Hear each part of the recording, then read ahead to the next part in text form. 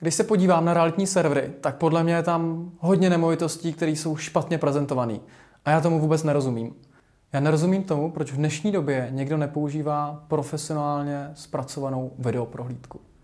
Podle mě video je nástroj, jak prodat nemovitost rychleji, jak ji dostat mezi co nejvíc lidí a prodat tu nemovitost za vyšší peníze. Nedílnou součástí profesionální prezentace jsou taky fotky od profesionála. Ne od realitního makléře, který je amatér, ale fakt od profíka, který v té nemovitosti uvidí něco víc, to, co ten makléř a třeba i prodávající nevidí. No a když máš dobrý video, když máš profi fotky, tak už je pak jenom malý krůček k tomu, abys to dostal mezi lidi.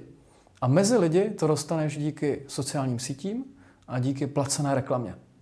A tohle je to, co my tady poskytujeme. Tohle je ta služba, která nás baví a která nám dává velice dobré výsledky a díky které máme víc a víc klientů.